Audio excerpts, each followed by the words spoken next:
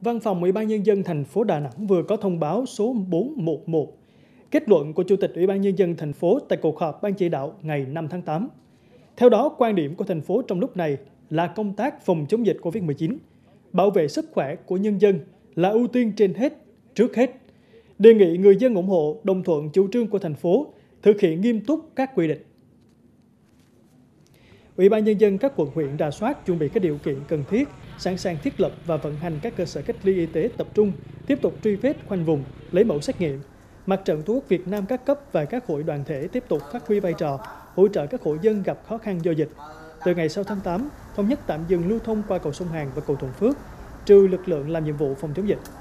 Về giấy đi đường trong thời gian giãn cách xã hội, Chủ tịch Ủy ban nhân dân thành phố thống nhất bổ sung thẩm quyền xác nhận cho Sở Y tế đối với nhân viên, người lao động đang làm việc tại các cơ sở y tế ngoài công lập.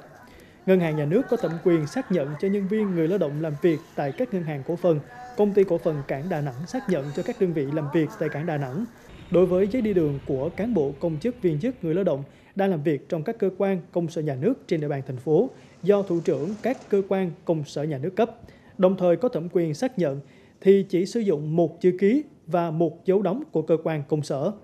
Ủy ban Nhân dân các quận huyện chỉ đạo hỗ trợ tăng cường nhân lực cho Ủy ban Nhân dân các phường xã để hoàn thành việc xác nhận giấy đi đường cho công dân và doanh nghiệp, đơn vị đúng theo quy định. Chủ trì phối hợp với các đơn vị chức năng tập huấn cho lực lượng tham gia nhiệm vụ tại các chốt kiểm soát giấy đi đường một cách thống nhất.